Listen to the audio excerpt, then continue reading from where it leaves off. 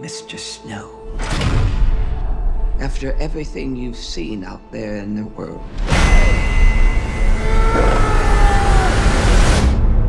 what are the Hunger Games for? Are you, are you coming to the tree? The Hunger Games, they're to punish the districts. Those tributes don't have a choice. Your role is to turn these children into spectacles, not survivors. So we free. We're live!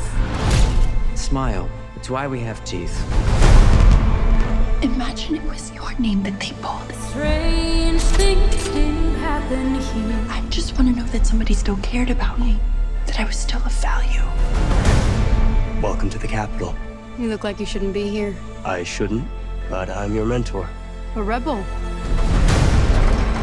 I am gonna get you out of here. You want to protect people, and it's essential to accept what human beings are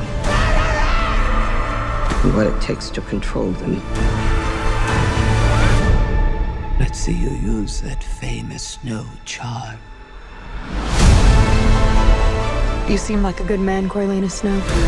I have seen what war does to people. Fueled with the terror of becoming prey. See how quickly we become predator? I want my enemies to see a rainbow of destruction engulfing the world. Monsters, All of you! Good luck with that poor little songbird. Where is she?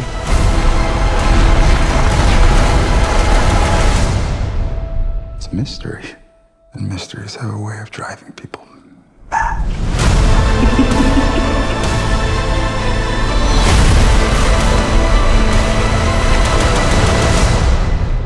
Mr. Snow, let me ask you one final time.